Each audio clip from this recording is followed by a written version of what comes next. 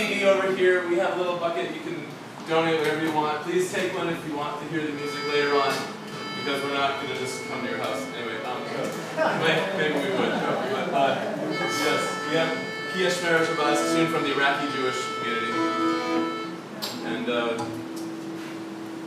we're very excited. We've got another CD that we actually just started working on. We're pretty much recorded all the music and just started mixing. And hopefully at some point in the fall, we'll be able to, you know, tell everybody about it. Very exciting. We're gonna play. Uh, I don't know how many more tunes you're gonna want to hear. Probably a couple more.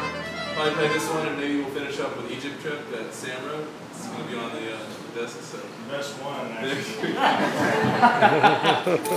so, Look at that painting! It's the best song. Uh, yeah, how about Lizzie? How about this? Is that amazing?